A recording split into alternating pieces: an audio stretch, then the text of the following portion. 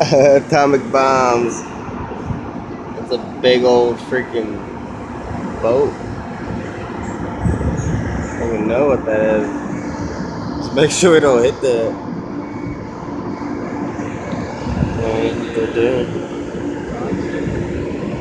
I think it's like a cleaning thing. It cleans out the river or something. Something like that. Roger the prairie dog. Roger the prairie dog. Is that what the boat's called?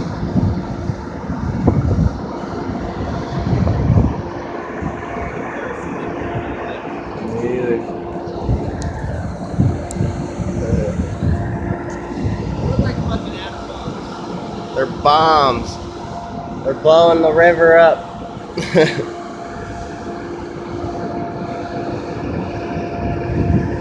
ah, I smell diesel. Hello, son. Say hello.